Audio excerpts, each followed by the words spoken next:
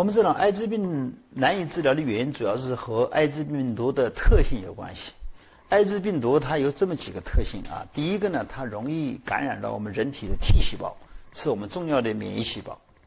第二个呢，艾滋病的病毒啊，容易发生变异啊，这种变异的这种状态呢，会影响你抗病毒的效果。第三点呢，目前来讲，没有一个有效的药物能够彻底的杀灭艾滋病毒。它只能把它抑制住，控制在一个相对低的水平，那么不能有效的杀灭。一旦停药以后，它仍然可以复制，形成一个高的水平的状态。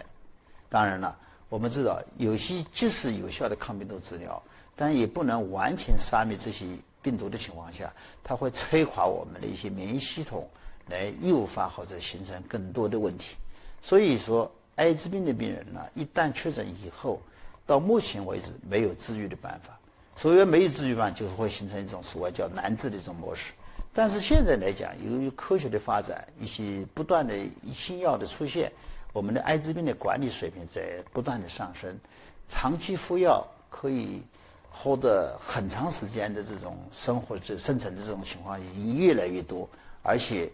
现在的艾滋病尽管不能治愈，但是。有效的药物治疗完全可以延长患者的生命，完全可以提高患者的生活质量，完。